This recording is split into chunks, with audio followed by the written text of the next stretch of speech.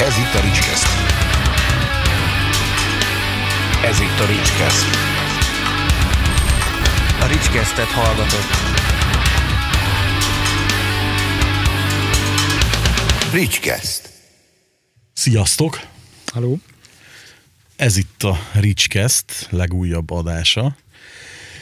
És vendégem a Meteora zenekar két tagja, és pont azon gondolkodtam, hogy valamikor majdnem egy évvel ezelőtt beszélgettünk erről először, hogy talán valamikor egyszer eljöttek adásba, hát hogy jó, nem egy éve, fél éve, mert tavaly nyáron, Szerintem igen, igen, igen. Kicsit előre szaladtam időbe.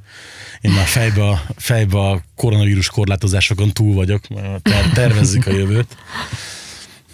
Örülök, hogy itt vagytok.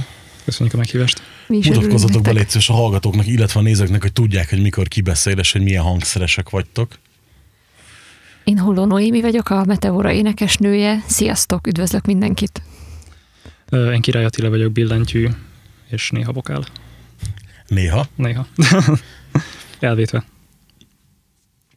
Mert kényszerűség, nem szeretsz, vagy csak nem mindig igénylő?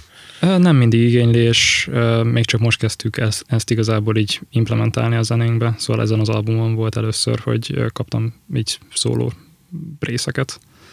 Most kipróbáltuk, hogy milyen, reméljük tetszeni fog. Eddig úgy néz ki, hogy szerintem bejövős, meg működik. hát majd pár hónap múlva kiderül. Mert a lemez, vagy ahogy vokálozik? A férfi vokál bevetése a lemezre szerintem nagyon jó plusz szint ad neki, meg van egy csomó zenekar, amiben nagyon jól működik együtt a férfi-női vokál, meg a hörgés. Például az én szívem csücske a Trisztánia régi lemezei, ott is nagyon-nagyon sok férfi vokál van, ugye a Dimmu Borgirban is vannak nagyon jó, ilyen heroikus, kicsit baritonos férfi vokálok, és szerintem a Meteora zenéje is simán elbírja az ilyesmit. Nektek ki a fő inspiráció szerinted? Vagy ki volt, amikor alapítottátok a zenekart? Hát alapító tag az én vagyok, és a basszusgitáros, a Noémi né jött. Ö, hát Éve már öt lassan, négy körülbelül. és fél. Eleinte igazából nagyjából válogatás nélkül minden ilyen szimfonikus gót metal együttestől játszottunk számokat. Főként, amikor már elkezdtünk zenét szerezni, akkor az Epica és a Nightwish volt az, aki a fő irányt adta. Szóval őket hallgattuk nagyon sokat. Eleinte próbáltuk az ő számstruktúrájukat például, az ő hangzásukat lekövetni. Az új albummal már igyekeztünk ettől egy kicsit eltávolodni. Érezhető. de még így is valószínűleg azért elég sokszor megkapjuk azt, hogy például YouTube videók alatt vannak ilyen kommentek, hogy fog először azt hittem, hogy Epica már csak tovább lépett a YouTube-on a következő számra, és hogy milyen jó. Szerintem azért ez, azért ez dicséret Pe- valahol. Persze, Abszolút. meg igazából örülünk is valamilyen szinten, mert az azért dicséret bőven. Bár egyébként szerintem többször hallgattam meg az új lemezeteket, mint az új, a legutóbbi epikát, de Hú, ez... Pedig az nagyon jó. Nagyon szeretem. Várjál, vagy várjál, nem. Ő mindig keverem őket az amaranttal, és azt meg nem bírom elviselni. Azt én Ez. Azt, azt annyira Így- én se kedvelem. Elmentünk januárba ugye erre a amarant. A szabaton. E- Szabaton, apokaliptika igen. szabaton, Aha. igen, és ez a két előzenekar versenyzett azért, hogy melyik volt rosszabb. Ó, és- az apokaliptika annyira nem, nem Figyelj, tetszik. annyira, annyira lelombozott az új lemez, hogy nem tudtam élvezni a koncertet. Uh-huh. Aha. Szerintem ez a, hogy mondta ott a csáva, Cell tehát ez a cello lemez, szerintem ez, fú, hát nem is tudom, mikor írtam a kritikát a Hammerben, rengeteget szenvedtem vele, mondtam. Fú, dögunalom egyrészt uh-huh. szerintem. Nem tudom, hogy hallottátok el a lemezt, vagy nem. Nem volt hozzá szerencsém nekem Ö, legalábbis. Én a régi apokaliptikát ö, hallgattam még nagyon-nagyon régen, még ö, általános iskola vége felé, meg gimiben, és ö, nem tudom, nekem valahogy így megmozgatta a fantáziámat ez a cselló metál, meg, Tök jó, meg- meg nagyon-nagyon szerettem őket hallgatni. Az új lemezt azt már nem követtem, mert nagyon, tényleg nagyon régen ö, figyeltem őket. Minden esetre szerintem ö, nem csak rájuk, hanem talán még sok más előadóra is jellemző a nagy kedvencek közül, hogy a régiek nagy klasszikusok és nagy alkotások voltak, és a mostaniak azok meg már annyira nem ö, feltétlenül ugyanazokat az érzéseket keltik a rajongókban, mint a, mint a régiek. Még ez valószínűleg annak is köszönhető, tudod, hogy szerintem egy, ez ilyen esetekben a zenében mindig próbáld azt az érzést keresni, ami 16 évesen volt, vagy 17 évesen is volt, de nyilván az nem lesz biztos. sose. Persze. Biztosan.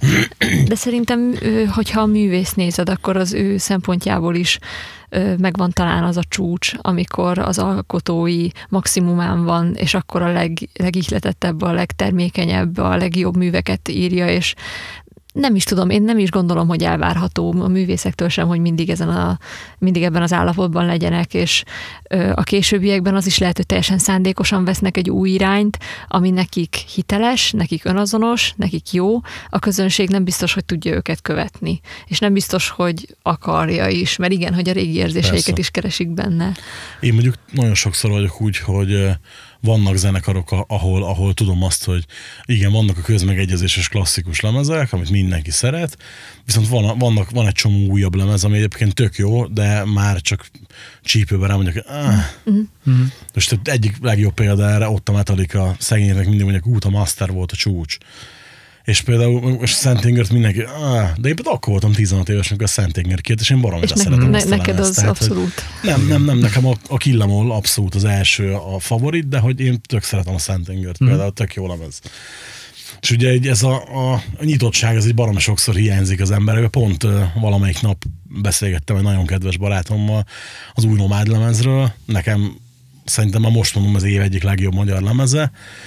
És ő mondja, hogy ú, hát azért nekem már nem olyan, mint az első kettő volt, nem rossz, meg majd megveszem a gyűjteménybe, meg minden, de hogy, hogy úgy nem az igazi, és iri, irigyel engem a nyitottságomért, de és mondtam, hogy de miért, hát no figyelj, én, nekem ugye egyetlen egy dolog fontos a zenében, hogy őszinte legyen. És egyébként nekem pont ebbe a, ebbe a female vokálos szint, szinti, meg szimfonikus metálokban nekem legtöbbször az a bajom, hogy iszonyatosan műanyagnak érzem a 90 százalékot, hogy hallgatom, és így Ah, jó, sok Konstának tetszenie kéne, tudod, tehát ha, ha, ha valószínűleg őnek is se tetszik, vagy ők se hiszik el, vagy, vagy csak nekem nem jön át az érzés. Én egyébként nem mindig ugyanazt, vagy hát inkább úgy fogalmaznék, hogy sokszor a rajongók egy része megérzi azt, hogyha valami inkább egy ilyen ö, ilyen kényszer hatására íródik, vagy esetleg egy belső, vagy valamilyen külső nyomásra, hogy jó, akkor most mindenképpen csináljunk valamit, és mindenképp tegyünk le valamit az asztalra a rajongók kedvéért, és nem egy ilyen, ö, egy ilyen magának utattörő önkifejezésről van szó. Nekem az egyik kedvenc példám erre a, a, a, a, a, a Nightwish, ami aminek a, szintén megvannak ezek a régi közmegegyezéses klasszikus lemezei. Amiket és az, se bírok hallgatni, és- igen. A, igen, mondjuk az lehet, hogy kevésbé a te ízlésed, nem? Vagy a kevésbé a te asztalod, vagy nem tudom, hogy te alapvetően mennyire hallgatsz magadtól szimfonikus metált. Szoktam, tehát most Aha. mondok, hogy például van két night is lemez, amit rendszeresen hallgatok, és nagyon-nagyon szeretem, a két Anettes lemez. Nekem az abszolút Ó, favorit. Az értem. Imaginariumot én is szeretem. Azt a én is rongyosan hallgattam. az szoszó. A Dark Passion vannak nagyon-nagyon jó nóták, például a kezdő nóta kapásból óriási, A- és ugye a lemeznek a fele nagyon jó, a másik fele meg úgy ott van. És ugye Mhm. ilyen, hogy az Imaginálnak a pont ugye a körítés, a, a sallangok Igen, az, mellé. az egész a, nagyon feelinges egyébként. Igen, meg ez a cirkuszos dal, tehát Igen, imádom. igen. Igen, meg nekik bejött a konceptalbum szerintem. Igen. Tehát a Night is meg tudta csinálni azt, hogy legyen egy jó konceptalbum, és nekem is az egyik leginkább a szívemhez nőtt, vagy hát ugye a későbbiek közül a leginkább a szívemhez nőtt az az Imaginarium, és én is rongyosra hallgattam. Annak ellenére, hogy a tarja lemezeket is nagyon-nagyon szeretem, tényleg majdnem az összeset. A Flort, őt nagyon kedvelem, mint énekesnőt. Szerintem az egyik legjobb énektudást tekintve, de szerintem a zenekar már talán nem abban az állapotban volt, mire ő oda került, hogy ö, ugyanazt az alkotói teljességet tudják nyújtani. Hát nem használják ki eléggé szerintem. Az is Szóval lehet. jobb volt az. After Forever-ben. Igen. nem, nem bírom a, a tarjás lemezeket, láttam őket a tarjával élőbe, nem, Nem, tényleg. abszolút hidegen hagyott, Mhm. egyáltalán nem. Ugye a két Anettes lemezt nagyon szeretem, láttam őket az Anettel, és Aha. óriási volt. Mikor kijött az első lemez a Florra, egyszer hallgattam meg, és azóta Mhm. És se. ennyi. Az új dalok közül, amik kijössz, mert három is kint van, egyet sem bírtam végighallgatni. És Én végighallgattam őket, de de amit más szinten dobtak ki, ami ilyen, ilyen zakatolós, csörgős, zörgős, akár mondom, hogy ez, ez mondom, ez mégis mi a fasz már elnézés, tehát hogy így, most komolyan. Most mondtam is, hogy hát biztos nem fogok elmenni az arénába, ez a veszély nem fenyeget. Er- Erre bejelentették már eléjük az Amorfist. Igen, Ha ezt ma mondom- láttam, igen, igen, igen. Kösz. Megint az eszem meg az előzenekarra.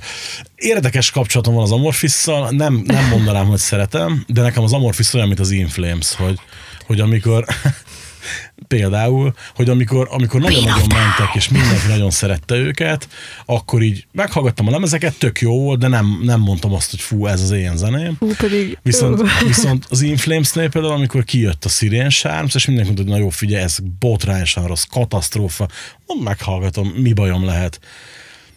Mentem a koncertre, azonnal vettem ugye a, a digibúkos limiteret, irattam alá a zenekarra, mondtam, hogy figyelj, ez óriás, azóta kijött utolsó három lemez, nekem ilyen biblia.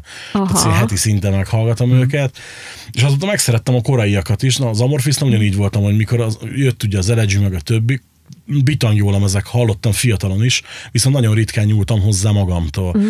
De az utolsó két-három lemez meg annyira jól sikerült Jól szerintem, sikerült, abszolút. hogy, hogy visszanyúltam a régiekhez is, és most már az egész diszkográfia azt mondja, hogy figyelj, baromi jó, Igen. csak hogy nekem ezek az újabb lemezek, valószínűleg most lehettünk így gondolatilag egy, egy periódusban, vagy nem tudom. hogy Na, na De- ők, ők nem az a zenekar szerintem, akik így ellaposodtak, vagy kicsit így el hagyták magukat. Nem, igen. ők, ők nem egyáltalán. És nekem nagyon tetszett, amikor bevették például Anekét a ö, most nem jut eszembe a címe annak a számnak. Among Stars. Az, Among Stars, ah, Profi. profi. Ez egy számot Igen.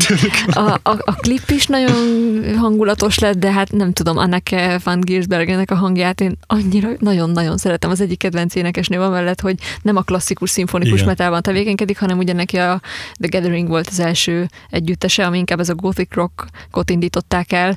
Ilyen sose felejtem el ezek a hihetetlenül vicces öltözékek a színpadon, mackónadrág, meg póló, meg minden, és tényleg ők voltak az ilyen gothic rock nőjének úttörők. Meg hát Devin Townsend lemezein is ö, szerepel annak elég sokat. Én ott szerettem meg igazán. A, az egy Addicted, meg a ö, Ziltoy második lemezén, ott is énekel. azt nem tudom, Na mindegy, szóval, szóval én ott, ott figyeltem fel rá, hogy úristen, kinek van ilyen hangja? Annyira őt, na ő is annyira ilyen őszinte, tehetséges, és csak, csak énekel, énekel, és élvezi, és nagyon jó hallgatni. így az, az érdekes, hogy ugye a nightwish még egy gondolatra visszatérve, hogy a Márkónak a szólólemeze viszont szerintem bitang jó lett, illetve Nem a, a. Thomasnak a szólólemeze, ugye ez a Donald Kacsa Mhm. koncepciós, nagyon billentyűs, nem tudom, azt hallottad-e vagy nem, ilyen nagyon filmzenés hatású az egész. igazából. Mikor kid, egy, egy dalt kidobtak róla, ami igazából csak annyi volt a klipjében, hogy hogyan ra- rajzolták a borítóhoz a figurát, meg ilyesmi. Ugye, az nekem nagyon tetszett az lemez, pont azért, mert iszonyatosan jó feelingje van. Mhm. Mm. Meg ugye azt tök őszintének éreztem. És na mondom, Márkó tök jó lemezt csinált, Thomas tök jó lemezt, mondom, biztos, hát ha jó lesz az új rács, és eddig erre meg háromból három nem. Mm. Tehát, hogy így mondtam is, Hogy nem is De értem. mondjuk az ilyen promószámok szerintem ideig egyik lemezen se voltak túl erősek. Amennyire emlékszem, a Storytime az jó volt, de azon kívül meg kiadták a Dark Passion Plays az Amarantot, ami nekem nagyon ilyen kis lagymatag volt, ahhoz Hát képest, hogy mik izé, voltak, tök, mik tök jó voltak rajta. e, Igen, valószínűleg ez volt nekem vele a bajom, hogy Nem, ott, ott az volt, figyelj, az vizuális nagyon erős volt, a klip hozzá szerintem bitang jó meg volt csinálva, és az rohadtul elvitte magával a, a full középszerű nótát, tehát hogy ugye így szerintem az azért is volt így direkt belöntöttek egy valak pénzt a klipbe, és akkor ugye azért így Hát igen, csak nem tudom, egy klippel elvinni egy számot, az nekem olyan fura, miért nem választottak, vagyis legalábbis számomra fura, hogy nem választottak inkább akkor valami erős számot, és csináltak hozzá valami erős klippet. Mint akkor még nagyobb lett volna a hatás. Hát jó, de ez így tudod, ez biztonsági játék inkább. Hát jó, az biztos, szóval ez sokkal szélesebb rétegnek befogadható volt, mint hogyha Persze, nem tudom, persze. Poet and the Pendulumhoz csinálták volna, ami ugye nem tudom, 10 perc, vagy 15. valami olyas- 15. Több, igen. Igen, szóval hosszú. Ugye ott, ott is volt az, még emlékszem, hogy interjú mondtak a Thomas, hogy tudták, hogy vagy nyitónótának, vagy zárónótának Mhm. mm. kell lenni, de a zárónótában biztos volt, hogy mi legyen, úgyhogy így lett ez nyitónóta. Mhm. Mm. És emlékszem, hogy hallgattam először, no, ennek sose lesz vége. Tehát, pedig, pedig tök jó nóta, azt mondja, Igen. pont szeretem, de így fura volt. Mi, az első lemez, az, na még egyszer, tehát az első lemeznek mikor jelent meg? 2017-ben. Jó, jól emlékeztem, hogy három éve, igen, csak Igen, nem akartam igen, igen, igen. mondani. Milyennek érzitek most? Az első lemezt? Uh-huh. Hogy akkor még nagyon nem tudtuk, hogy mi csináljunk, és hogyan csináljuk, és hogy működnek a dolgok. Csak sz- szerettük volna a számokat, amik eddig, addig be, megérlelődtek bennünk, végleges formába önteni a legjobb tudásunk szerint, és a, leg, a lehetőségeink szerint is a legjobban ö, prezentálni a közönség felé. Igen, szóval a stúdió tapasztalatunk nagyjából nulla volt, a Máténak volt úgy valamennyi, de az is egy hard rock zenekarral, ami úgy ezért eléggé más, mint hogy tudom, egy szimfonikus metához összerakni és felvenni a dolgokat. Elég sok újra felvétel történt így, mert úgy gondoltuk először, hogy jó, majd mi otthon felveszünk, és az milyen jó lesz, és aztán majd elküldjük profi keverésre, de aztán természetesen nem lett jó. igen, szóval menjetek profi stúdióba, mert megéri. Hát, figyelj, Először oda. Akartunk is hogy egy adást csinálni erről egy, egyik címben, meg fogunk is majd valamikor, hogy a, sokan nem, tehát elbagatelizálják ezt, hogy igen, a felvételnek jó körülmények között kell készülnie, normális klipet kell csinálni, zenekari fotózást nem a barátnő maga a barát csinálja telefonnal, tehát ugye, hogy... Igen, igen, nagyon sokat kell adni, főleg manapság már ezekre a nem is feltétlenül nevezem csak külsőségnek, mert egy zenekarom és csak a zene az, amit csinál, azzal adja el magát, jó esetben. Ö, szóval tényleg sokat számít az, hogy nem tudom, ne ilyen dobozhangzású, zizegős produktum legyen, amilyen nem tudom, egy otthon felvett, nem tudom, 20 ezer forintos hangkártyával előállítható mondjuk gitárszinten. Tőlem is megkérdeztek, hogy hát most még kell stúdióba menni, hát gyere föl Pestre, beülünk valami kocsma, bedugjuk a mikrofont a telefonba, aztán... Oh, oh, oh, nem. nem. Nem, köszönöm szépen. Nem, nem. Ebből lesz az, hogy vissza. Igen, meg, meg, meg ebből, ebből lenne az, hogy nem akarom megnevezni azt a hát nem celeb, de mindegy, azt a közéleti embert, akinek, akinek van, van egy aránylag sikeres podcastja, és engem például felháborítja az embereket, nem háborítja fel azt, hogy mennyire rettenetesen rossz minőségű. Uh-huh. Tehát, Aha. hogy így mindegy, csak hogy engem biztos, hogy zavarna. Uh-huh.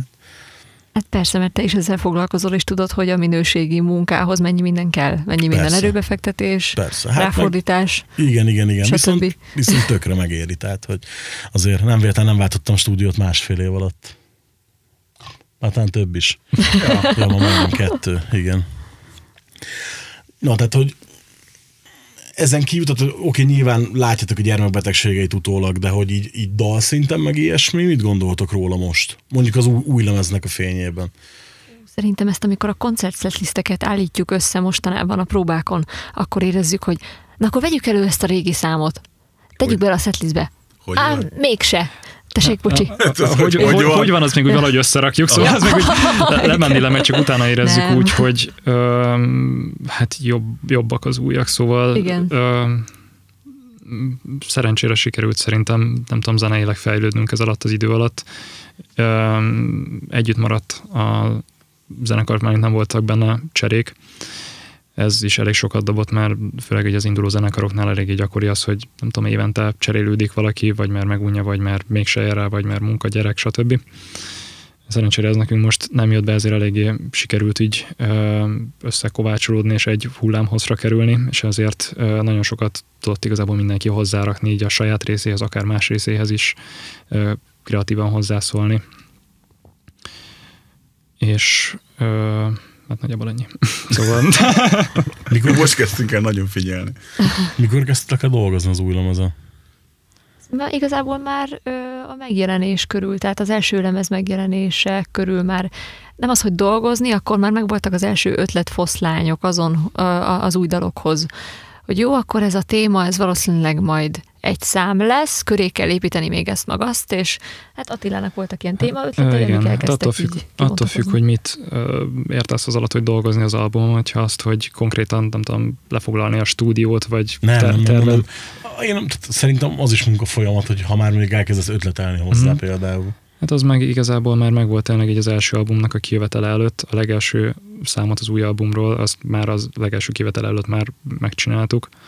Igen, igen az a Tag the Truth volt, az volt így az első, amit az új összeraktunk, de olyan szinten, még korábban kezdődtek a munkák, hogy voltak, vannak olyan számok, például a Tragedy of Delusion, vagy a When Angels Fall az új albumról, amik már valamilyen formában korábban ö, megíródtak, megírtam őket, csak hát elég nagy változásokon estek keresztül, de az alapjuk az már meg volt korábban, szóval ha így nézzük, akkor Tragedy azt szerintem 2012 volt az alapverziója, szóval eléggé visszanyúlik a dolog korábbra, csak modernizáltuk, már úgy modernizáltuk, hogy így magunkhoz igazítottuk, mostani magunkhoz. Ö, ki írja a zenéket főleg? Mert Ugyanazt, mondtad, hogy ugyanazt akartam kérdezni, hogy ki a fő dalszerző. Az én vagyok. Billentyűn. Hát billentyűn, gitáron, Na. Ez, már előtte gitároztam, és így azt is úgy valamilyen szinten meg tudom írni. Általában az a vége, hogy olyanra írom meg, hogy ezt nem lehet lejátszani. és akkor talán szól a Csaba gitá- gitáros kolléga, hogy "Nye, ez így nem lesz jó. Aztán mindig elmondod, hogy de te is le tudod otthon játszani, akkor ő is játszol. Hát egy, egy, jó, ez, ez a korábbi számok nem működött, amiket még lejátszottam otthon. Újak már kevésbé. Nem, mert igen. Tehát ha te le tudod játszani, mint kvázi zenekar billentyűs, akkor az, az elég szép lenne, hogyha ezt a gitárosok is tudnák prezentálni. Ja, Már Ja. amit láttam a videoklipet, azért ők jó, jó zenészek. persze, persze. Szóval tényleg ez inkább olyanokra vonatkozik, amiket még akkor írtam, amikor még gitároztam. Ja, ja. Szóval azokra kevésbé szoktam mondani. Egy, nem tudom, egy vagy két ilyen téma volt, Ja, és az igen. inkább csak ilyen vicceskedősen jegyeztem meg, mert azért más az, hogy az ember lejátsz a próbán, és más az, hogy stúdióban fel kell Persze. játszani, hogy tényleg nem tudom, 64-re pontosan játszott fel azt a nem tudom, 200-as tempóval 16 adok témát.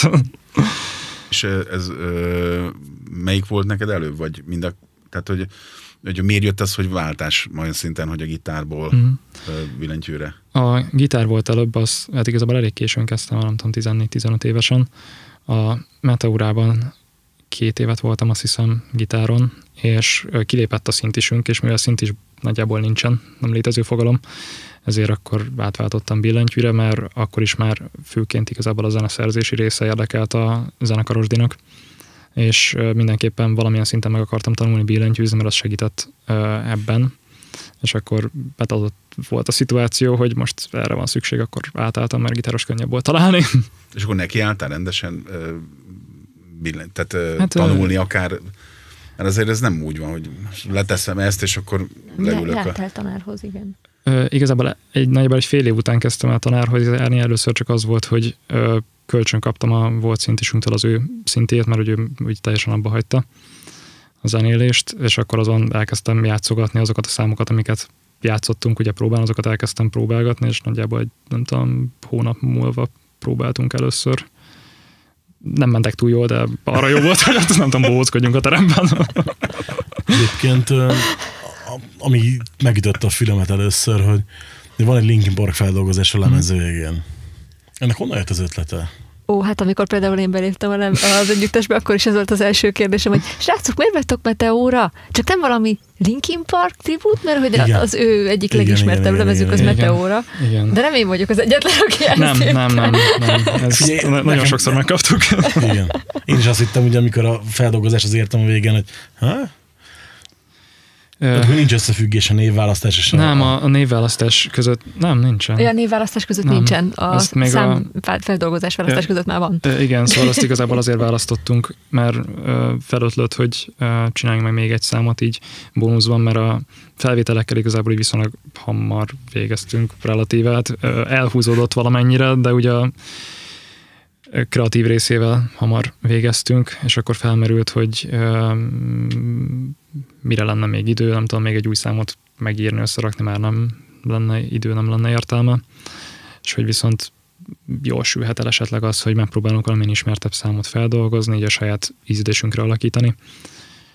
És erre esett a választás, mert, mert sokan hittek minket Linkin Park tributnak, és nem tudom, ez egy viszonylag ilyen közös nevezőpont volt valamilyen szinten ez a szám így a zenekaron belül. Meg a Máténak egyébként, aki a, Igen, igen, a hör- hörgés basszusgitáros, ö, akivel a fronton osztozunk, ő, igen, ő nagyon szereti a Linkin Parkot, ő ezt tényleg nagyon soká, sokat hallgatta, meg neki ez egy meghatározó zenekar, úgyhogy akkor gondoltuk, hogy jó, hát csináljuk. Na, hát, Időnkbe belefért. Igen. Ki volt fizetve? De szerintem ilyen nem volt. igen, igazából ráfizettünk még a végén. A, i- igen, a végén az még necces volt igazából, mert mm, még amikor először tárgyaltunk a Hammerrel a kiadásról, akkor még egy másik megjelenési dátumot beszéltünk, és aztán így januárban szóltak, hogy akkor lehetne egy kicsit korábban már, hogy úgy, úgy jön neki jobban a lépés, lehetne mégis március, és akkor január 31-ére Igen. volt lefoglalva már a stúdió, hogy felvegyük a Lambot, ezt valamikor decemberben foglaltam le a Denavér Hang stúdióban. És a leadási határidő pedig az január 31 volt. Szép volt, igen. sikerült kialkudnunk, hogy egy pár napot csúszunk, de az ott eléggé héten sietős volt. kész, igen, és akkor jó, de azt a napot tényleg végig stúdiózzuk, és Igen, mindenki igen. ott van, és mindenki felveszi a saját maga részét. És lehet, lehet tudni, hogy ez hány aktív napot jelent? Már lehet, hogy csak engem érdekel, tehát hogy Az egész lemez, vagy igen, csak az, az egész lemez. sokat? Igen, a Csaba mennyit volt? A gitár az a legidőigényesebb általában igen. a tapasztalataink szerint annak a felvétele. Igen, mert hát nagyon precíznek kell lenni azt, amit mondtam is korábban, hogy vannak olyan témák, amiket nem tudom, lehet, hogy otthon lejátsza az ember a stúdióban, olyan precizitással azért az más tészta, és tényleg amíg azt fel, ezeket a témákat feljátsza az ember, az úgy sok idő két sávban feljátsza az ember, már hogy bal oldal, jobb oldal. Szóval csak a gitár az szerintem egy olyan öt nap volt minimum. Szerintem annyi volt Basszus, kb. gitár, hörgés úgy szintén minimum öt nap volt. Négy-öt, É- igen, az is. énekek, az is egy négy-öt nap volt. Szóval így sokáig el voltunk vele. És tehát a feldolgozásnak a jogi része az könnyen ment, és könnyen sikerült elintézni? Vagy ezt teljes mértékben a kiadó csinálta? Hát ezt a kiadót csinálta szerencsére. Ezt, a, még amikor először beszéltünk velük erről, hogy lenne egy ilyen ötletünk, hogy ezt ö, megcsináljuk, akkor rákérdeztem, hogy mit kell ezzel kapcsolatban csinálni, és mondták, hogy ők ezt intézik. Szóval nem tudom. Azért nem vágtunk bele sokáig, pedig már megvolt az Igen, ötlet, igen, meg igen. igazából ki is dolgoztuk a témákat, de á, de nem, mert nem tudjuk jogilag mit kell csinálni, meg fogalmunk sincs. Én is kérdezgettem más zenész ismerősöket, akiktől láttam, hogy kismillió feldolgozást raknak fel, és akkor mondták, hogy de azért ezt meg lehet csinálni, meg YouTube-on is rengeteg Persze, cover van, persze. azért ebből olyan nagy probléma nem szokott lenni, de aztán azt éreztük a legbiztosabbnak, hogy tényleg a kiadónak oda. Hát igen, hogy fölöslegesen ne menjen vele az időnk, meg ne menjen vele a pénzünk. igen. És ez fel sem merült egyébként, hogy valami műfajilag relevánsabbat játszotok, vagy do- dolgozatok fel? Vagy pedig direkt hát akartatok valami direkt eltérőt? akartunk valami eltérőt, hogy kevésbé legyen az összehasonlítás. Szóval, hogy ne azt várja például, hogyha nem tudom, feldolgoztunk egy Nightwish-t, most, hogyha már egy nightwish szó volt, hogy ne az legyen, hogy mennyire hasonlít Noéminek az éneke mondjuk a tarjáihoz, vagy a Flóréhoz, vagy az Anettéhez, hanem valami teljesen mást akartunk. Ez volt az egyik, hogy kevésbé hasonlítgassanak, a másik pedig az, hogy így nagyobb kreatív munkát kellett belerakni, és Az biztos. Mm. csak, te- csak azt, hogy nem tudom, eljátszok ugyanaz. az akadályt szerintem, mert hogy amíg, amíg nem ért refrénig a nót, addig nekem nem esett le a turpisság. Ja. pedig, pedig hát ha valaki, akkor én annó rommá hallgattam azt a lemezt, meg Mhm. azt a dalt is nyilván. Tehát az Ja. első két lemez idején is ilyen nagy feltétel nélkül Linkin Parkos voltam, utána a harmadiktól nem nekem zenéltek, de Mhm.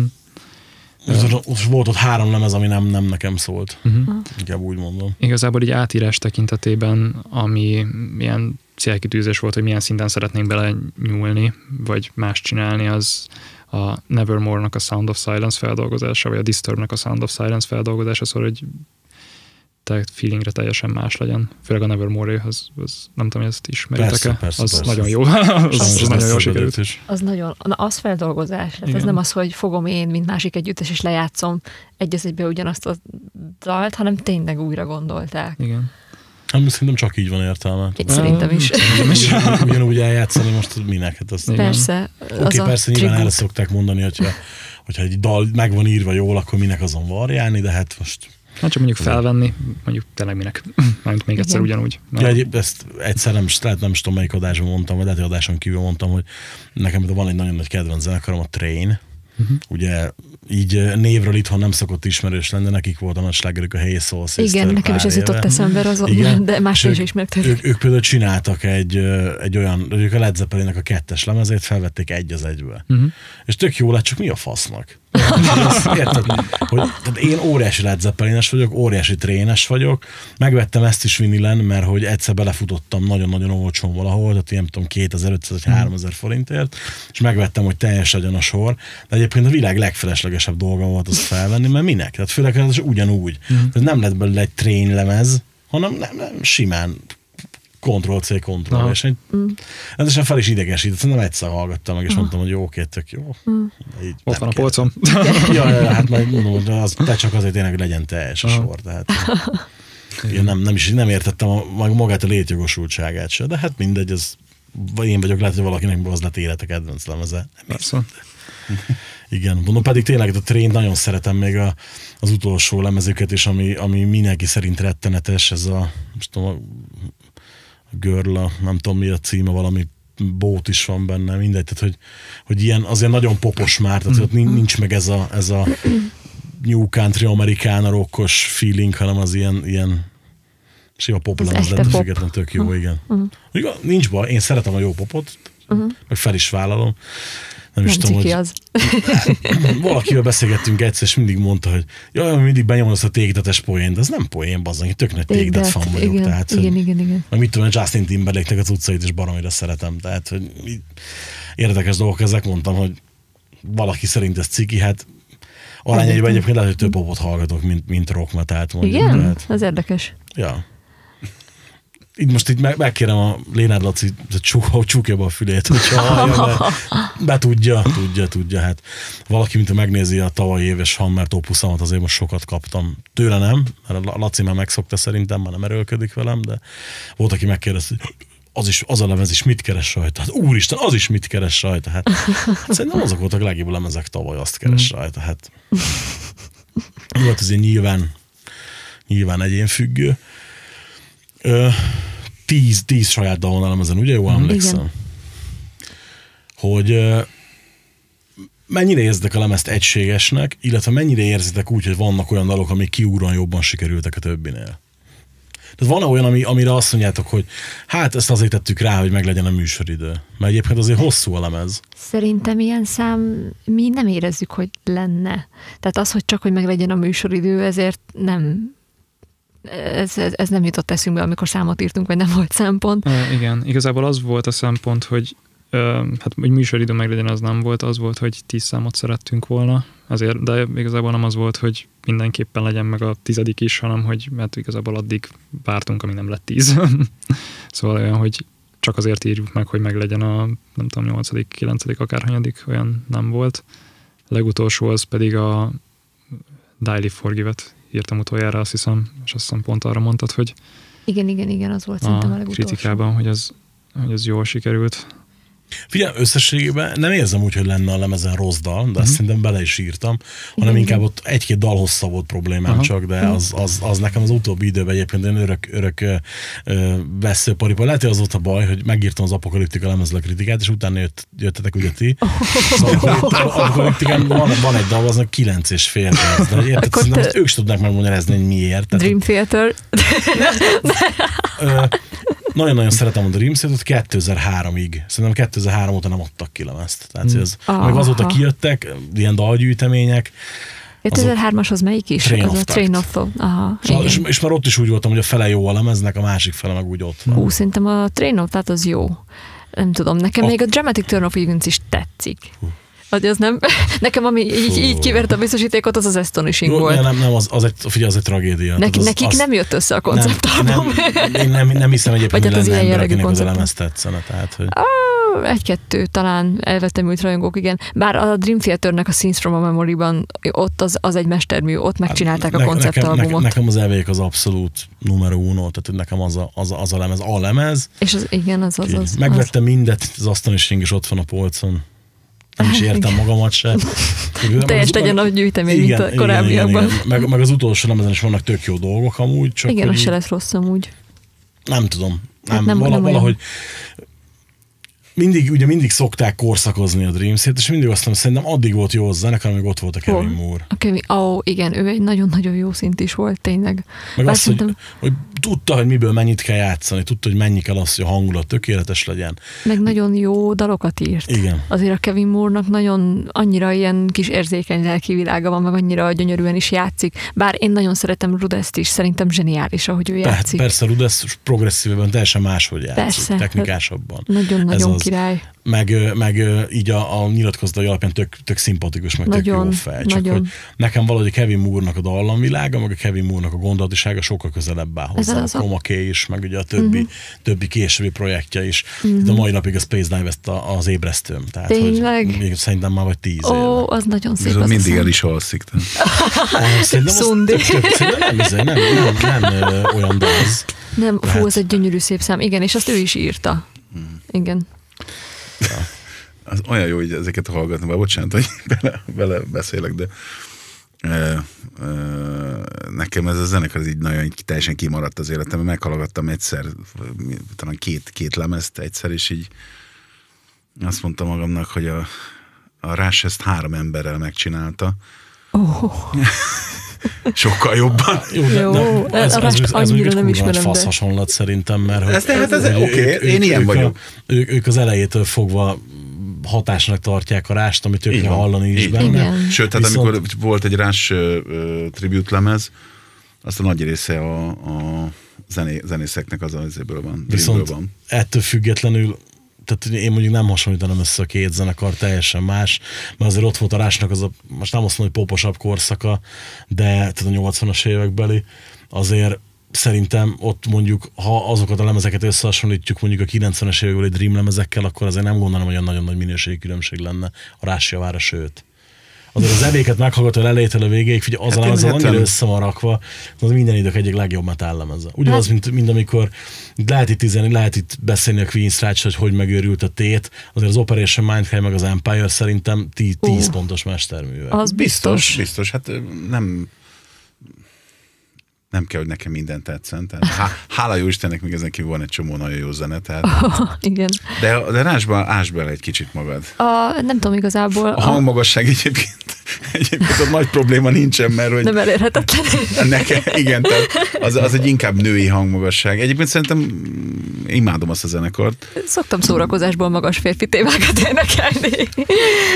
Ö, igen, de egyébként visszatérve a számok hosszára, ö, hát ez se volt feltétlenül ilyen szándékos, hogy fú, nagyon hosszú legyen. Hát az, hogy nagyon hosszú legyen, az nem, de én igazából szeretem a hosszú számokat, szóval nálam úgy 5 percnél kezdődik a számhoz. Jó, de figyelj, oké, de, de mondjuk ebben a műfajban ez oké is. Hát az hogy azért epikának itt- is azért ezek az Igen. átlag hosszai. Tehát itt, itt azért mondjuk Például. ri- ritka, ritka három és fél perces, Hát, Igen. ö, 40 másodpercnél Igen. refrén 150-nél szóló típusú volt a tehát. Igen, igen, igen.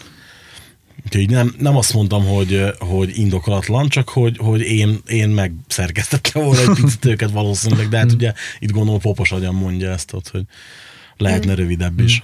Hát lehet. Szerintem, igen, hát ízlés se válogatja talán. De egyébként válaszolva a kérdésedre, az abban szerintem a hallgatók többsége is egyetért, meg mi is zenekaron belül, hogy a Memento Mori, bár nem úgy terveztük, de nagyon, tehát az, az jól sikerült, így egységesen ö, úgy érzi mindenki az, mindkét oldalról, hogy ez egy jól sikerült szám, ami azért vicces, mert a, tényleg ezek után a hosszabb, kifejtősebb, hogy te is mondtad számok után, mint a on Enemy például, vagy az Angels, mondtam Attilának, hogy Attila, figyelj, most már arra lenne szükség, hogy írjál egy kicsit kompaktabb számot, írjál valami butát, és Attila megírta a Memento Mori. Jó, hát azért, én, én most hallgattam meg ma, hát azért az nem buta szám, tehát hogy nem egy, nem egy, nem egy de nem most komolyan, tehát, tehát a, az én olvasatomban az egy Szerintem elég sem. komolyan jó nóta, tehát nem egy ilyen három akkordos Szerintem olyat nem tud írni a lelkem, úgyhogy Majd próbálok. nem kell. Következő illácia.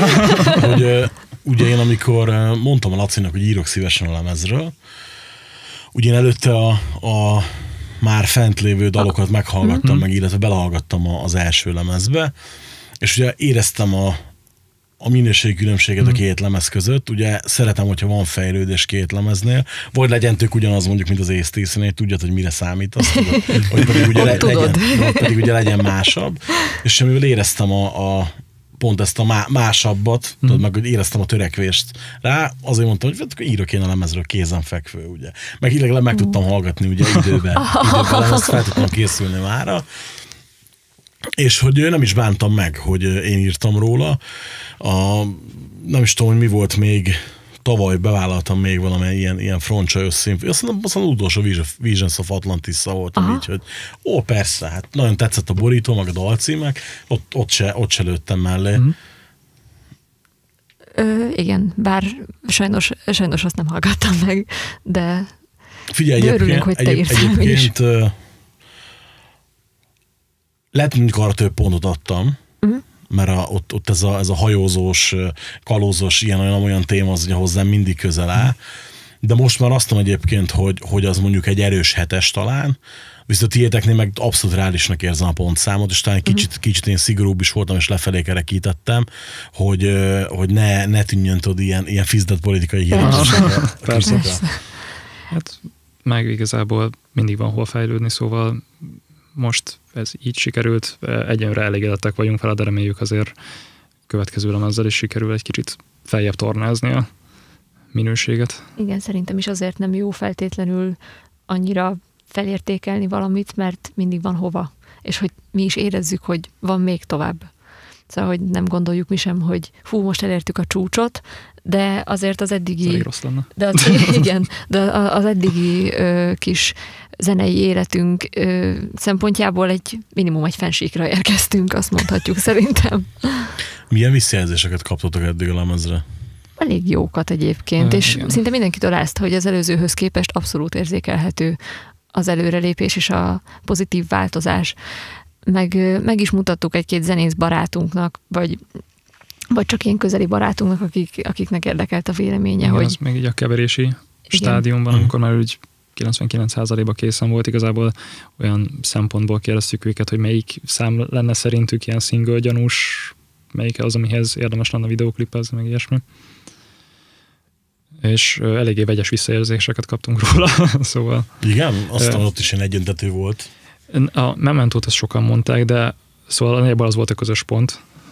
Mi is azt akartuk még először, mielőtt egy kiadtuk volna nekik a kérdést, hogy válasszanak, de azon kívül meg tényleg volt, aki a amit ö, említette, volt, aki a Daily Forgive-et, volt, aki az Angelsnél mondta, hogy eldobta tőle az agyát, szóval igen. eléggé vegyes A, volt. a, a tagnél is egyébként a taget viszonylag, is sokan viszonylag mondták, sokan igen. mondták, hogy hú, ez egy jó kis húzós szám, Igen, jó meg kis már koncertszám. ö, régóta játszuk koncerten, mert az már így régóta megvan, és nem vártuk meg ugye az album kijövetelét azzal, hogy elkezdjük koncerten játszani az új számokat, hanem már mielőtt kijött, szerintem nagyjából az album felét már úgy elcsepegtettük, Igen.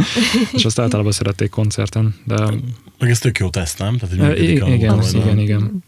igen, hasznos. Kinek az ötletei alapján állt össze az anyag vizuálja? Mert egy baromi erős a borító, nagyon-nagyon szép, meg hogy a, a buklet is tök Mm. jó néz ki. Egy nagyon-nagyon nagy szerencsénk van, mert egy nagyon-nagyon jó grafikusunk van, mármint akivel már az előző lemez óta együtt dolgozunk, és a vizuális részért főként a Máté szokott felállni, mert az, hogy mindenki elmondja róla a véleményét, de neki van ez a legjobb szeme. Igen, építészmérnök, meg tényleg neki jó, neki tényleg jó ízlése van ezekhez a Igen. vizuális dolgokhoz, És a jó érzéke. Szerintem ez a felülhajócsónak élőnő a- alul Ez- vízben halott, mert azt hiszem a Máté ötlete volt. A Máté vagy tiéd, most már nem tudnám megmondani, de lehet, hogy a Szerintem Máté, a Máté igen. A grafikus neve egyébként Lajcsák Lajcsák István. István. Igen, bátran ajánljuk mondani, mindenkinek. Meg, meg, Igen, meg igen, elérhetőséget, mindent lehet mondani, úgyhogy lehet nyugodtan reklámozni. Uh, stephenpictures.com, azt Igen, hiszem. van egy ilyen webcíme. Igen, szóval bátran ajánljuk, mert nagyon, nagyon jó és nagyon korrekt, és nagyon jó dolgozik. Nagyon kreatív, nagyon szimpatikus, és Igen. nagyon jól dolgozik. De amikor az adás kijön, akkor még elméletileg a standokon lesz a, az elhavi Hammerworld magazin, és annak a, a mellékleteként meg tudjátok vásárolni a lemezt. Ez azért fontos, mert hogy ugye így, így viszonylag olcsón megkapjátok ezt, és kiesnek az új lemezét is, csak hogy két, két nagyon-nagyon jó lemezt magatokévá tudtok tenni azonnal. Igen. Tényleg, hogy jött, a, leme- a, hogy jött az újságmellékletes terjesztés ötlete? Amikor már a keveréssel úgy egész jól álltunk, akkor ö, kiküldtem igazából az anyagot kiadóknak, páran reagáltak. Amikor a Hammernél találkoztunk a Kristóffal, akkor és vele tárgyaltunk, hogy szerintem mit kéne, hogyan kéne, ő mit tudna ajánlani, akkor mondta, hogy ő el tudná képzelni, hogy így az újság mellékleteként tudná kiadni a CD-t. Ez egy elég nagy ilyen, nem tudom, húzóerő volt. Egyébként is nagyon szimpatikus volt, egy első találkozás alkalmával, és hát igazából tényleg felajánlotta, mi akkor már úgy magunkban örültünk neki. Igyekeztünk, igyekeztünk fapofát vágni, hogy nem tudom, pókerarcot. Aztán hát utána próba után beöltünk, azt hiszem egy KFC-be megbeszélni, hogy mit hallottunk, meg hogy az addig, mert ők velük találkoztunk utoljára. Vigyázz, mit mondasz, ma Kristóf egyébként rendszeresen hallgatja az adásokat, de most is éppen két Ajaj. két, két karcsapás közt úszás, úszás közben hallgatja mindig. Hallgatja, úgyhogy Hát ezt nem gondoltuk volna. hát volt is vendég, ugye? Meg lesz Igen, is még, igen, láttam. lesz is még valószínűleg. Uh, igen, na mindegy, szóval csak ott, ott, mivel már úgy akkor előttünk volt minden ajánlat, azért akkor megbeszéltük, hogy melyik lenne a legjobb, és ez tűnt a számunkra legprofitálóbbnak. Ugye gondolom a szempont volt, hogy minél több emberhez eljusson. Persze, persze. És azért így ez, hát most nem, nem tudom éppen, mi, mi az aktuális példa, egyszerűen mindegy is igazából, de hogy így azért jó pár ezen, ember, jó pár ezen embernél landol. És azért, hogyha ha csak tudom, minden második, harmadik meghallgatja ma, akkor baromi jó, a, Persze. Így van. jó az opció. Igen. Ugyan még csak egy hete van kint az újság, ugye? Egy, egy sőt, Igen, el, előző héten pénteken, majdnem egy Akkor hete. mentünk, igen. du- durván egy hete van kint az újság, hogy éreztek valami pozitív hozadékot azóta? Tehát, hogy van, van mondjuk, aki, aki ezen keresztül talált rátok? Hát ezt így igazából nem tudjuk, szóval úgy nem írtak ránk, hogy sziasztok, megvettük az újságot, tök jó volt. Csá. Hát igazából folyamatosan növöget így a Facebook oldalunk, nem már annyira az, nem tudom, releváns a követőszáma. Ugye, ö, fokozatosan nő a posztjainkon az aktivitás, szóval ilyen szempontból végül is valamennyire talán ö, látható, hogy ez ez egy jó befektetés volt. Mik a, mik a céljaitok ezzel a lemezzel? Mi, mi az, ami, amivel mondjuk elégedettek lennétek? Hát egy ilyen ö, középhosszú ö, távú célunk az, meg egy, úgymond egy álmunk is az már régóta, hogy nagyon jó lenne például egy ö, általunk is nagyon kedvelt és nagyra tartott műfajilag releváns szimfonikus metal ö, zenekar előtt, vagy egy este fellépni. Nagyon boldogok lennénk, ha például a következő alkalommal, amikor ö, mondjuk akkor már nem lesz, mert az Epika Apokaliptika ö, line-up gondolom már elég fix, de egyszer például velünk egy esten játszani, az számunkra egy beteljesült álom lenne. Igen. Vagy hogyha ö, Magyarországon ö, rájöhetnénk, hogy tényleg kik azok az emberek, akik szeretik ezt a stílus, mert szerintem viszonylag kevesebben vannak. Itthon nem lett annyira divat szerintem a Nightwish-on kívül a többi ilyen szimfonikus női énekes metal Hát meg a Within. Temptation. Még az is igen, de, de a Nightwish az tényleg olyan szinten sokan ismerik, hogy rengeteg olyan ember is, akinek nem sok köze van a metálhoz, vagy nem kötődik annyira a metálhoz, azok is nagyon sokan hallgatják. Ó, egyébként tök érdekes, és nem is tudnám megmagyarázni, hogy miért. Hát olyan kis egyszerű szerintem. Mármint a Nightwish.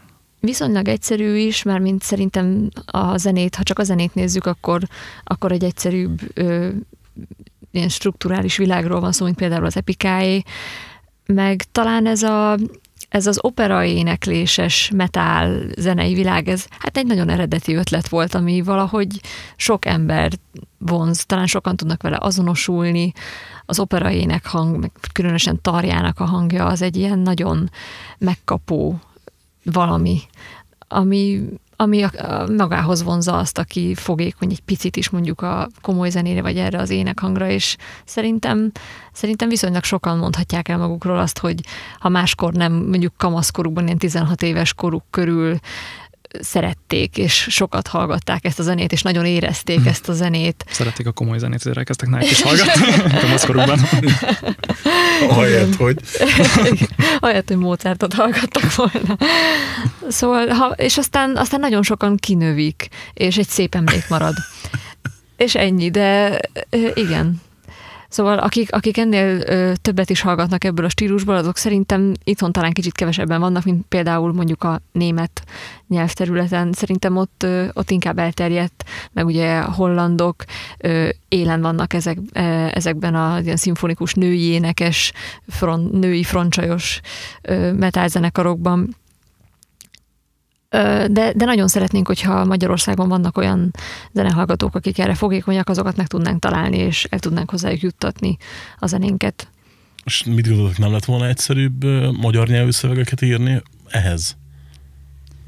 Mm, igazából nem feltétlenül szerintem, aki, a, aki ilyen zenét hallgat, az szerintem elég jó eséllyel angolul is szívesen fogyaszt zenei tartalmat, vagy nem, fel, tehát, hogy nem feltétlenül csak magyarul. Hát mondjuk olyan téren szerintem, hogy a, akik nem feltétlenül ilyen, nem tudom, hardcore szimfonikus metát szoktak hallgatni, azokhoz könnyebb eljutni magyar nyelven. Ö, igazából a szövegeknek a, egy részét én írom, másik részét a Máté, basszeros, hörgős kolléga, és én például nem tudnék magyarul szöveget írni, mert szerintem sokkal nehezebb magyarul jó szöveget írni, mint angolul. Szóval én Az simán nem tartom magamat elég jónak hozzá. Mert ugye, hogy csak azért kérdezem, mert nem is nagyon tudok itthon most így hirtelen ebben a műfajban olyan, olyan példát mondani, aki, aki angolul mondjuk kinőtte volna magát, most nem is azt mondom, hogy, hogy nagyon, de mondjuk egy, egy jó klubzenekarrá, tudod. Uh-huh. Ami valahol elkeserítő, pont úgy ezért is, amit mondasz, hogy ugye azért ennek a műfajnak a nyelve inkább az angol, mert hogy, hogy Ja, hát most így nem tudok hirtelen Nightwish szöveget fejből, de mondjuk még azt is, ha lefordítod, azt sem feltétlenül, ha hangzana jól magyarul. Tehát nem. nem. finoman- Ezért mondtam, hogy Finoman fogalmazva, igen, igen. Tehát ez... Ja, mondjuk nehéz kérdés ez igazából, hogy kell a magyar nyelv, vagy nem kell, mert hogy csak egy, egy példa jutott eszembe, hogy van egy zenekar, akik szoktam együtt dolgozni, és nekik mindig azt mondták, hogy nem rossz, nem rossz, de hogy kéne egy énekes, mert a gitáros énekelt, kéne egy énekes, és magyarul kéne. Szétment a zenekar, de a zenekar romján felépítettek most egy teljesen másik zenekart, egy énekessel magyarul. Uh-huh. Hát nem rossz, nem rossz, de minek az énekesek magyarul nem áll, érted? Tehát, hogy, hogy akkor meg, na, és ugyanúgy nincsenek többen a, a koncerteken, mm. így, hogy magyar, magyar lett a zenekar, de magyarul énekelnek, aztán most akkor mi van, tudod? Tehát, hogy akkor így, így igazából ebben lehet, hogy nincs is, nincs is úgy igazán nagy megfejtés. Ja, lehet, hogy nincsen, de ezt egyébként már sokan mondták nekünk, hogy ö, jó, jó, de nem tudom, még jobb lenne magyarul. A harmadik lemez, az első két lemez dalaiból magyarul. Oh, igen. Visszafelé. ja. Ö, egyszer lehet, hogy majd nem tudom, megpróbálkozunk vele, de csak azért, hogy nem tudom, legyen valamink magyarul, úgy nem. Szóval, ha valamihez illeni fog az, hogy magyarul legyen, akkor szerintem azt úgy fogjuk, hogyha nem, akkor pedig nem fogjuk erőltetni. Ö, van egy nagyon kedves, ö, igazából jó barátom, még tök jó zenekar, a Subcorticot, nem tudom, Persze. jó. Nekik is az előző albumokon azt hiszem egy magyar szám van, és az tök szép. Az összes többi pedig angolul megy. Már, Az a- már ahhoz az illet. Nagyon meglepő zenekar volt nekem. Kezembe akadt a legutóbbi lemezük, uh-huh. így minden előzetes ismerettség nélkül, és így meglepődtem, hogy wow. Szerintem nagyon feelinges, én tökre szeretem. Nagyon, barom jó hangulat, nagyon erős hangulat van, Igen, inkább úgy igen, mondom, igen. hogy nem, és nem jutottam a koncertjükre, sajnos tavaly nyáron voltak valamikor, azt hiszem. Ezenen voltak például tavaly nyáron. Nem, itt Párkányban voltak Ja. a... Ja, Az egyik. ja, azt tudjuk, oda mi is mentünk Igen. volna, csak igen, aztán... igen, igen. A gitárosunk igen. nem tudott volna jönni, lett volna egy kis segítőgitárosunk, aki Na. végül lemondta. Igen, Úgyhogy végül nem tudott volna jönni. szóval az úgy nem jött ki túl jól, de igen, Igen. mi is lettünk volna. Igen, hogy nem voltak sokan, viszont egyik havarom is mondta, hogy fú, nem kell CD-t, mert olyan király volt. Tehát, pedig ő nem ilyen könnyen szerelembe esős típus, de ettől függetlenül megdicsért, és akkor megvettem én is velem ezt, azt mondom, hogy hú, az tényleg barom jó. Ja, hát igen, pont ez, a, ez az ilyen hangulatív, ami nálatok is meg volt, tudod, hogy, hogy, hogy hallani a lemezen azt, hogy, hogy ez tényleg oda van figyelve arra, hogy ne csak fel legyen játszva, hanem hogy úgy legyen tényleg egy összképe, és legyen tényleg egy, egy hangulata. Ez, ami, ami viszont sokkal nehezebb szerintem, mint magukat a dalokat megírni. Tehát a feeling, feeling, meg az összhatás az mindig olyan szerintem, hogy azon, azon áll vagy bukik egy lemez igazán. Hát igen. Igen, mondjuk az ilyen feeling apróságokban, produceri munkában ebben iszonyatosan sokat segített nekünk a Boros Béla, de Nevér Hang stúdióban. Igen, nagyon jó ötletei voltak. Nagyon tényleg, hogyha ö, például amikor a vokálokat vettük fel, szólamokat ö, vettük fel, akkor is volt, hogy mondjuk felénekeltem egy-egy szólamot, és akkor volt egy ötlete, hogy te figyelj, ezt lehetne mondjuk ide is, meg oda, meg nem tudom, és így meg szerintem így magának a szimfonikus alapok megszerkesztésében Igen. is voltak jó ötletei. Igen, nekem a kedvenc részem a- az volt, amit a, a Bélának köszönhetünk, az a Tragedy of Delusionben vannak ezek a visszatérő hosszabb hörgések, amik eléggé meg vannak effektezve. hát igazából az úgy történt, hogy öm, hát a Máté, ugye Mátéval együtt lementünk, öm, azt fel, majd ő felhörögné meg, csak úgy lopni a napot. és ö, ment ugye a hörgés, és valami hiányzik, valami hiányzik. És akkor a Béla így mondta, hogy srácok, mi lenne, ha megpróbálnánk rárakni ezt az effektet? Ó, jobb lett Béla, tök jó. Jó, és itt van még ez is, meg ez is, meg ez is. Legyen gonosz, legyen nagyon gonosz. nagyon, Mondjuk akkor pont nem voltam, de Nem, de- aztán kaptam a hangmintát, és így, ezt nézd meg, mi lett a of the Illusion Igen, szóval az, az vicces volt. Hát figyelj, igazából ez olyan, mint amikor a séf oda megy és megkóstolja a levest, és azt mondja, hogy beletesz a csípácsot, most már jó. Tudod? Igen, Igen, ez igen, pont igen. olyan. Ja, igen, azért így, így belegondoltam abba, hogy, hogy na, már több zenekart is hallottam ezt, hogy hú, figyelj, Béla, az odajött, hozzányúlt, és ú, mennyi, sokkal jobban elkezdett élni a dal. Egyébként nekem is, nekem személy szerint is nagy segítség volt még az Our Paradise-ban, hogyha csak a főénekeket nézzük, én azt még egy, egy, egy hangmérnök ismerősömmel, barátommal csináltam az ő stúdiójában, ott volt Budapesten, én meg kiárogattam felvenni a, az énekeket. Ö, igen, akkor még tényleg nem volt tapasztalatunk, nem tudtuk, hogy mit, hogy, hova, hol kell felvenni, és nekem ez volt a legkézenfekvőbb megoldás. Ő, ő nagyon ilyen precíz, nagyon vágyfülű ember, és arra figyelt, hogy nagyon pontos legyen, szép legyen, ki legyen szépen simítva, és jó, ez így most már jó, ez így már tökéletes. A Bélával meg így, amikor először átmentem szolnokra főénekeket felvenni, akkor az volt az első gondolatom, hogy jaj, úristen, a nagy Denevér hangstúdió, meg a Boros Béla, jaj, mi fog történni? És akkor Béla egy ilyen iszonyatosan kedves, szeretetre méltó ember, na hát akkor kezdjük. Elkezdtem énekelni, és így jó lesz az, jó lesz az. Vártam a hú, ez nem elég pontos, meg hasonló kommenteket, és nem Három jöttek. feljebb. Igen, és, és így, igen, így van. És erre számítottam nagyjából. És nem jöttek, hanem a jó, akkor ide még most egy ilyen érzést, egy olyan hangulatot, és aztán meg is beszéltük, hogy igen, egyébként ő kicsit ő, sokszor kicsit jobban érzi magát, inkább érzi magát producernek, mint hangmérnöknek, de valójában mindkettőt nagyon királyul csinálja. Még ezek a jó dolgok szerintem, meg ilyenből kellene a magyar zenész szakmába több, lehet, Hát hogy, igen. lehet, lehet, hogy több ö, olyan lemez lenne, aminek van lelke. Igen. Mert hogy sokszor nekem ez hiányzik, hogy ö, pont nem, valami, valami is olyan régen panaszkodtam valakinek, hogy egy időben jött ö, egy stúdióba rengeteg ugyanolyan egyforma hangzású zene, de ugyan, mm. tipikusan ugyan meg tudtad mondani, becsuktad a szemed, és azt, igen, ezt ott vették föl. Igen, az onnan jött ki. Ami egyébként semmi baj nincsen, mert kint is ez a trend, csak ettől függetlenül, tehát ez a piac, ez szerintem szű, a magyar piac szűk ahhoz, hogy ez beleférjen. De nyilván ugye pont a piac szűke miatt nem fognak túlagyalni lemezeket, mert hogy se idő, se pénz, se kapacitás nincsen rá. Nyilván csak ettől függetlenül, hogy az ember így mindig, mindig vágyakozik. Én mindig azt szoktam mondani, hogy én baromira szeretnék egy olyan pop énekesnőt itthon, mint kint mondjuk a Carrie Underwood, hogy iszonyat hang, iszonyat stenk, iszonyat dalok, iszonyat felépített produkció, csak az egy 500 milliós piac, ez meg egy 9,5 milliós tudod, tehát itt azért itt is, na mindegy, és tudjuk, hogy azért Magyarországon hogy állnak hozzá ezekhez a dolgokhoz. Hát igen. Tehát ugye, hogy ja igen, ja, ki tudja, milyen lemezeladások lettek volna a lemezeteknél is.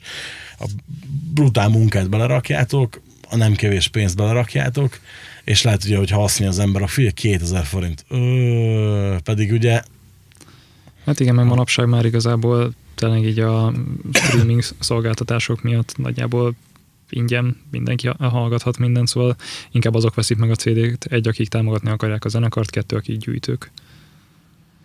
Szóval aki hallgatni akarja, az menj csak hallgatni, mert hogy nem tudom, a zene érdekli, az általában nem tudom, felmegy Spotify, Spotify-ra, iTunes. Deezerre, akármire. Bandcamp, stb. Igen. Igen, ti melyik réteghez tartoztok inkább? én CD-s vagyok. Igazából nincs is Spotify-om. Én vegyes. Ö, nem tudom. Igen, eh, ahhoz, hogy én megvegyek egy CD-t, ahhoz nekem nagyon kell szeretnem azt az előadót, és nagyon kell szeretnem azt a lemezt, hogy késztetést érezzek arra, hogy igen, nekem ezt a kezemben kell tartanom, és nem elég az, hogy én itt repeatre pörgetem Spotify-on. Egyébként nekem van Spotify előfizetése, meg nem tudom, szeretem is, hogy van, szeretem a vele járó szabadságot is, meg, meg azt, hogy újabb és újabb előadókat ajánl fel azok alapján, amiket hallgatsz. Nagyon sok előadót így ismertem meg. És, és szerintem ennek van pozitív oldala, de természetesen én is nagyon szívesen támogatom a művészeket. És, és, és nagyon szívesen kifejezem a rajongásomat adott esetben, de ahhoz tényleg meg kell lenni egy olyan rajongásnak, hogy igen, én ezt nagyon akarom. És ebből kifolyólag Attilának sokkal több CD van, mint nekem, de, de, de ami van, az tényleg olyan, hogy fú, igen, ezt tényleg nagyon-nagyon sokat hallgattam. Vagy esetleg az, hogy ajándékba kaptam, de abból kevesebb van. Inkább az, hogy igen, nekem ez nagyon kellett. Melyik volt az a lemez, amelyikre legjobban vágyta, hogy megvehesd? Ú, hát a Dream Theater lemezek első körben, nekem aznak nagy kedvencek voltak, még gimiben, és hát meg a Symphony X. Az volt még egy olyan, hogy Our Paradise, nem, nem az, hülye vagyok. Majdnem. Igen, Paradise a Par- Lost. Paradise Lost című lemezük, hogy nekem ez kell. Imádom Russell Ellen hangját. Tehát- Tehát tényleg a Dream Theater nagyon jó, James jó, de Russell Ellen a király. Ez nagyon diplomatikus. Igen, Nem, hát egy, alapvetően egy nagyon tehetséges énekes szerintem, és az Awaken is iszonyatosan ö, kirajzolódik ez, és nagyon látványosan, meg milyen hangterjedelme és milyen technikája van. Csak aztán ugye történt vele az a sajnálatos baleset, ami miatt utána sokkal nehezebben tudott ö, ugyanolyan produkciókat nyújtani, meg ugyanúgy visszatérni a korábbi énjéhez. De, de, de, de Russell ellen, fú, férfiak közül az abszolút kedvenc. Nők közül, hát Simon, ő, aki tényleg annyira szép hangja van, és a Simon Simons az epikából rá nem is azt a jellemzőt tudnám mondani, hogy iszonyatosan képzett lenne, mert, mert hát a saját bevallása szerint se az. Persze tanult, meg van tapasztalata, sok, sok helyen énekelt már, tanult popot, tanult jazz, kórusban énekelt, tanult klasszikus hangképzés, sok mindent tanult, de nála azért képzettebb énekesnők is vannak. Mégis neki van egy olyan adottsága, ami fú, kevés van szerintem a, ebben a műfajban pláne, tehát neki, neki gyönyörű hangja van, és ezért, ezért van az, hogy igazából nagyon szívesen hallgatom teljesen mindegy bármelyik epika számot, mert gyönyörűen énekel.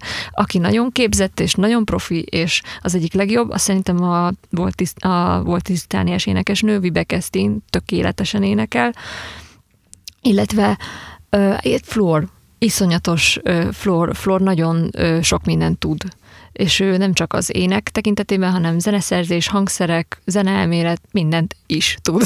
Úgyhogy én őt ezért kedvelem nagyon. Ne a Tomira gondoljatok. Ja, nem. Jó. Igen.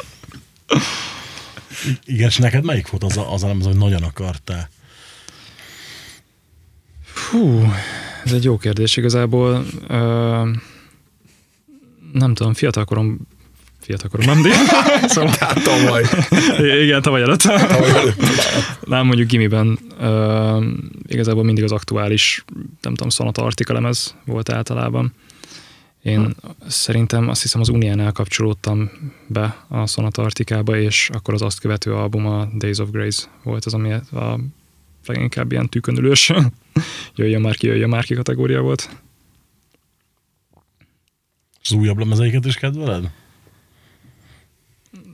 Nagyon-nagyon aranyosak. Azért ennyire kedvesen megfogni ezek a lemezek szarok, azért ez nagy, nagy, nagy művész.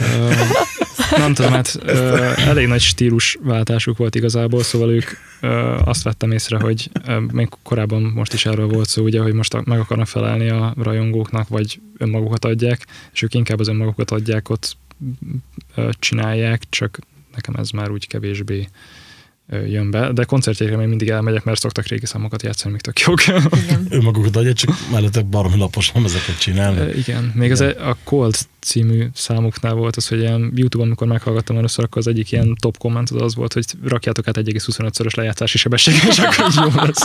És átraktam, és hogy tényleg jó volt. Egyébként az az érdekes, hogy ö, ö, én egyszer nem is tudom hány, talán 13 vagy 14 éves voltam, és ö, a Mahavishnu Orchestra-nak volt egy olyan lemeze, hogy Birds of, ö, Birds of, Birds of Fire, azt mondtam, ez egy jazz, jazz rock, nem tudom, hogy ismeritek el, és ö, azt úgy vettem meg, hogy abban az időben, én azért régebben voltam gyerek, hogy hát lemezboltba ott ugye föltette neked a, eladó a lemezt és előtte ö, kis lemez volt rajta, és ezt azt a hölgy nem nagyon vette észre, de én se. És meghallgatom, hú, mondom, de jó kis pörgős kis muzsika, nem volt benne ének, tehát nem volt az, hogy Mm. két Igen. oktávban följebb lett van az ének. Hú, mondom, de jó. Meg is vettem, hazajövök, fölteszem rendes sebességen, megszól egy ilyen, na ez mi? Hát én mit vett? Egyébként nagyon jó a lemez, de, de Ö, dupla, nem, nem, ugye mert a 33-as és 45-ös. Ugye, tehát az, az másfélszeres. Másfélszeres. Úgy azért pörgősebb volt. Ez most már nem fordulhat elő ilyen, mert ugye nem, nem hallgathatod meg ott a bakeliteket, bár nem tudom. Nem, hát Nem. nem. Mi eleve nincsenek ma lemezboltok szinte, tehát hogy Hát ez is nehéz egy-kettő van, és még régen egyébként a médiamártokban egész jó ilyen lemez kollekciók voltak, ment az ilyen nagyobbakban, de most arra az is teljesen lezűlött, szóval nem tudom, ilyen egy sort kiraknak, és annyi. Hát figyelj, nincs eleve kicsi a haszonkulcs Ez, rajta. igen. Igény se nagyon van rá, tehát ez így, így sajnos belelátok a zeneiparba belülről, és úgy, hogy nem túl rózsás a helyzet. Igen. Mi az az, az az igen, tehát megpróbálok még egyszer neki futni. Tehát mi az a, a művészeti ág, amivel szívesen inspirálódtok, hogy feltöltöttök, és nem zene? Filmek, könyvek, mi, mi az, ami, ami, ami úgy inkább közelebb áll hozzátok? Vagy mi az, ami, amihez szívesebben nyúltok, ha kikapcsolódni szeretnétek? Hát ö, én igazából még régebben, amikor több időm volt, és nem kellett dolgozni és egyetemre járni, és meteorázni, ö, akkor, akkor nagyon sok mindent csináltam. Origamiztam, gyöngyöztem, E- ezek, ezek számomra tényleg igazi kikapcsolódást jelentenek. Korongoztam is, amennyire így tudtam, hogy otthon nem volt, de hogyha hozzájutottam, akkor áh. Tehát így én nagyon szerettem az ilyen Ez kis kéz, kézműveskedést. Ö, igen. Szóval, szóval én ilyen kis kézműves dolgokkal nagyon szívesen töltöttem időt. Volt, hogy egy egész napot is, vagy többet egy húzamban simán ültem otthon, és készítettem még egy karkötőt, még egy nyakláncot, gyöngyszövés, gyöngyfűzés, origami, jó, még egy kis állatka, még egy nem tudom micsoda. És, és, és, és ezek, ezekkel, ezekkel szerintem a mai napig.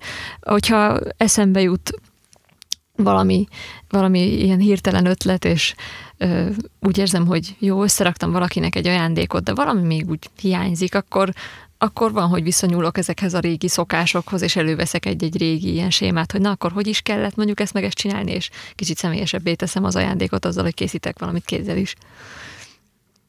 És te? És te mivel? Nem is tudom, mert mostanában igazából így a lemez az eléggé lekötött minden erőforrás, de hogyha ilyen teljesen agyi kapcsállapot van, akkor hát vagy sorozatot néztem, vagy játszottam. Mivel? Mostanában uh, Hearthstone-oztam, az a Battlegrounds része kijött. Uh, mit csináltam előtte? Uh, League of Legends-oztam, az már sokkal korábban volt. Szóval éppen nem tudom, am- ami, ami éppen volt, amivel egy, nem tudom, egy ilyen 20-30 percet el lehet tölteni így egy ülésben, és úgy vége is van. És a mágus, mint kártya, meg az mondjuk kevésbé tartozik, meg szerepjáték akár. A videóban feltűnik elég rendesen. Igen. Akarod, hogy a mágus szerepjáték és Magic the Gathering kártyajáték? Vagy Nem, az mágus kártyajáték is. Igen. Szóval a szerepjáték az még onnan jött ahhoz a kapcsolat, hogy ezt a Mátéval rokonok vagyunk, unokabátyám, és így ö, be együtt nőttünk fel, és a mágus szerepjáték rész az még így, az így kettőnktől jött, de a többiek is ismerték, mert így Csaba és Gábor is, szegény Noémi nem. sosem késő elkezdeni. Igen. Ó, És ennek van egy ilyen gyűjtögetős kártyajáték része, amit pedig Noémivel viszünk. igen. és ez a, ez a, Baszki, én lemaradtam, tehát ezt így nem is pedig ö, elég régi ez is, szóval nem, 90, nem, nem, nem, nem kezdek el, nem akarok még valamit gyűjteni. Tehát 97-ben vagy 98-ban, vagy amikor ilyesmi tájban indult, és most ugye egészen felpörgő ágon van. Szóval én igazából amióta befejeztem az egyetemet, azóta tudok ezzel foglalkozni, nem mert csak a HKK-t vágtam. De. azt inkább csak úgy névről. Hú, egy időben nagyon nekiálltam. Vettem egy több méter lapot, játszottuk Hmm. minden, és így mikor mit tudom, volt ilyen ezer lapon kb., és ugye így kijöttek olyan új kiegészítők, ugye, amiben jöttek olyan ütőkártyák, hogy ha mondjuk el akartál menni rendesen versenyszerűen játszani, akkor kellett volna venni egy csomó kieget, hogy hát ha benne van, vagy célzottan lapokat venni baromi drágán, akkor mondtam, hogy jó, köszönöm szépen. Igen, ez hogy- ilyen. Mondtam, hogy ismerősömnek, hogy figyelj, én kb. ennyit költöttem rá, a felér viheted. Tényleg? Persze. Ó, de király vagy. Már vitte is. Nem tudom. Na, a fadobozt megtartom, mert az mondom, tök jó lesz a feleségemnek ilyen karkötős doboznak, nem is tudom, mire használja most. Ó, a boldog kártyákat, kártyákat mind, minél messze. Nem. Nem, nem, nem, nem, merem, nem merek utána nézni inkább. Mindenkinek jó. Pedig tök jó. Félsz, hogy megtetszik. Ebben egyértelmű persze, tehát az, az lenne, hogy nem heti egy podcast lenne, hanem havi egy tudod. Tehát most ugyanezt szerintem a Melóba is társasjátékokat is forgalmazunk, és mindig hozza a főnök, hogy figyelj, nézd meg, ki jött, ez a-" nem nézem, Nem meg. nézem De kalózos. A hívó szót tudja, a varázsszót. Megnézem, hogy múlt, múlt, azt nézd meg, mekkora király Western játék. Nem akarom tudni, nem, nem, nem, nem, nem, nem, nem. De aztán megnéztem, de megláttam, megláttam azt hiszem, minimum három fő. Mondok, ezzel nem tudok játszani. Hála Isten. Igen, majd a gyerekek nagyobbak lesznek, nem, nem veszünk, nem fér el otthon, tudod, nem tud hova tenni. Gyerek beveszi a szájába a Igen, igen, ezek, kellékeket. ezek, ezek, ez kemény, kemény, kemény iparák sajnos, igen, hogy ezzel nem nézek. Ez szerepjáték be, ez a jó, nem helyigényes, csak a könyvek. Az biztos. Igen. Könyvek pár lap. Igen. Most kész. Na, tök jó, mert így, így azért akkor így, így egyértelmű, vagy nem egyértelmű, hanem így azért sok mindent megmagyaráz a zene kapcsán is, mert hogy szerintem a, a hobbi is, hogy eleve tudod ilyen kicsit ilyen agypörgetős tevékenység, akkor az úgy kinyel, hamarabb kijön a zene lelke, tehát hogy így, így, így megmagyaráz sok mindent a lemezen. Úgyhogy jó, meg tök jó egyébként hallani, hogy másnak is meghatározó volt fiatalon a szerepjáték. Ö, nem, igen, szerintem szerintem nem. egyébként így metálos körökben viszonylag gyakori. Igen, csak nem mindenki mondja el mondjuk adásban. Ja. Ez így csak ne éljék meg, tehát. Hát igen. Most már benne van. Hogy kisipoljátok. Ja, Istenem, 5 Istenem. perces síp. Sőt, tehát én egyébként tervezek adást ilyet majd. Már meg is vannak a vendégöteteim vele, meg minden egyéb, úgyhogy hamarosan megcsinálom valószínűleg. Na, hát köszönöm szépen, hogy itt voltatok, Mi is köszönjük Mi a is köszönjük meghívást. szépen. és uh, még egyszer csak azt tudom tanácsolni a hallgatóknak és nézőknek, hogy uh, még, még lehet keresni a Hammer World magazint az újságosoknál, illetve utána hogy biztos be lehet szerezni a zenekartól. a igen, áp- áprilistól tőlünk is ö, lehet szép ilyen kis jewel case dobozban, szép kis szövegkönyvvel. Minden. Koncert Így van. után aláírva. koncert után aláírva, Így van. vagy nem aláírva volt, aki egyébként még korábbi nem ez direkt úgy kérte, hogy izé, ne nyúljatok hozzá. Aláírjuk. Ne, ne, ne, ne, ne. Ne nyúljatok hozzá, én se fogok fél nekem is van egyébként olyan cimborám, aki, akinek egy, egyszer uh, születésnapjára intéztem egy dedikált lemezt, külföldi zenekartól ráadásul. Pont ott álltam. neki, nem, nem is ez a ó, de király, kinyitja meg az ajásokat, névre szól dedikálva. Uh-huh, igen. Kurvára rühelem a dedikált lemezeket, de azt, azért köszi. Mondom, hát jó, bocs. Igen. Szóval köszönjük szépen, hogy meghallgattatok minket. Hogyha bármi kérdés, észrevétel, ötlet, javaslat van, akkor a reachkukac, reachandgreen.hu e-mail címen, illetve a facebook.com per szénégető Richard oldalon lehet zaklatni. És lehet támogatni az adást a patreon.com per oldalon, illetve a securitykukac.gmail.com-on Paypal-on keresztül. Köszönöm szépen, sziasztok! Hello.